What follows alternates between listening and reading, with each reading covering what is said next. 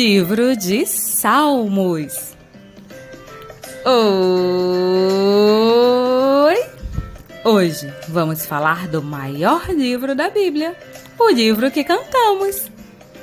Estaremos reunidos em nome do Pai, e do Filho, e do Espírito Santo. Amém. Você já prestou atenção que durante a missa tem uma leitura cantada da Bíblia? Sim, piririm, é o Salmo responsorial. Mas calma, como sempre, vamos começar pelo começo. A palavra salmos vem de uma palavra grega, psalterium, que é o nome de um instrumento de cordas muito antigo, um violão meio esquisito utilizado nas primeiras igrejas sempre que os salmos eram cantados. O livro dos Salmos é um conjunto de 150 salmos, bem organizadinhos em cinco partes, de modo a imitar o Pentateuco, que são os cinco primeiros livros da Bíblia. Os salmos mostram todo o início da nossa história em forma de oração e cantos de louvor, de adoração, de ação de graças. Tem muito mais. Como são muitos salmos, também tem muitos autores. E todos eles inspirados pelo Espírito Santo. Mas o maior de todos é Davi. Sim, Pererim, aquela mesma criança que derrotou o gigante.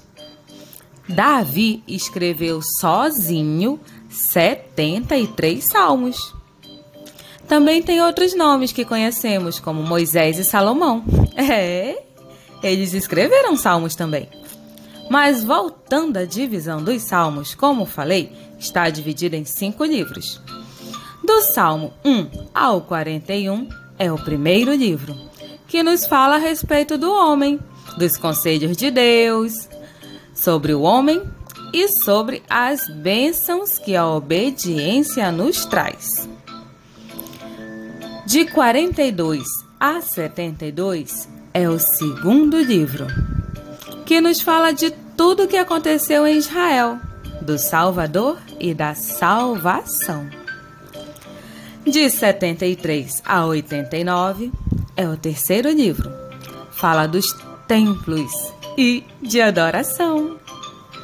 De 90 a 106 é o quarto livro, que fala sobre toda a terra, povos e nações.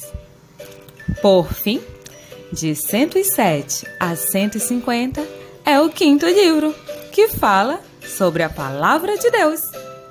Resumindo, os Salmos falam da relação entre Deus e o povo, entre Deus e cada um de nós falar da vida e de tudo o que nos acontece: pecado, saúde, justiça e injustiça, natureza, do amor.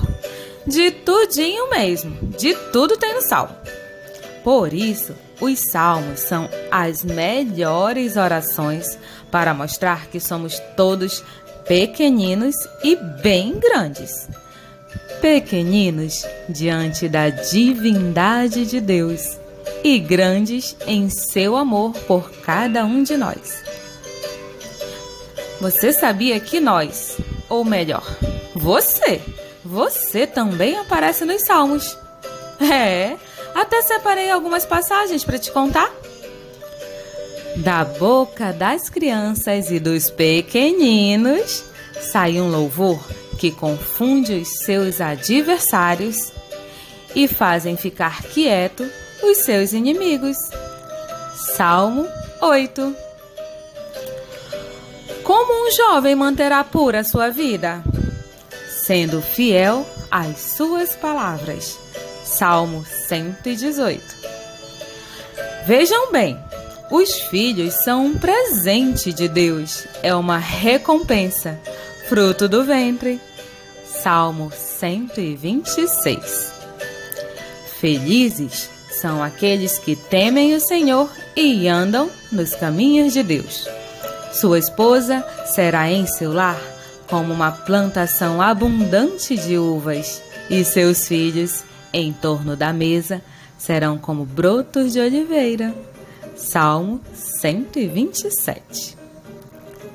Mantenho em calma e sossego a minha alma, assim como uma criança no seio de sua mãe. Assim está a minha alma em mim mesmo. Salmo 130. Ah, não posso esquecer de te contar uma curiosidade curiosíssima. O maior capítulo da Bíblia é o Salmo 119 e o menor é o Salmo 117. E no meio deles está o 118. Detalhe: se a gente dividir a Bíblia bem no meio, ali no meinho mesmo, encontramos o Salmo 118, versículo 8, que diz que o mais importante de tudo é confiar em Deus.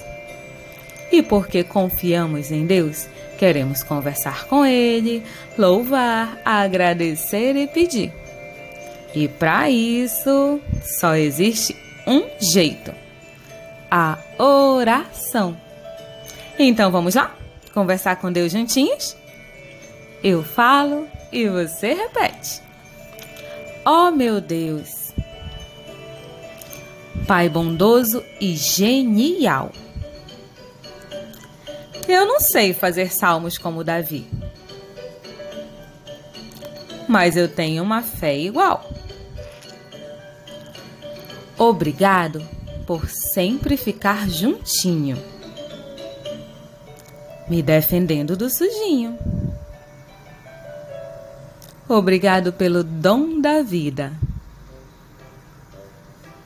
E perdoa se às vezes eu faço artes além da conta. Saiba que não é por mal. E que aos poucos aprenderei a tua lei. Para bem servir e o teu amor dividir. Amém. Que Jesus te abençoe, Nossa Senhora te proteja e se Deus permitir, novos vídeos aqui irão surgir. Ah, e se desse vídeo você gostou e quer saber mais, curte, compartilha e se inscreve no canal. Tchau, tchau!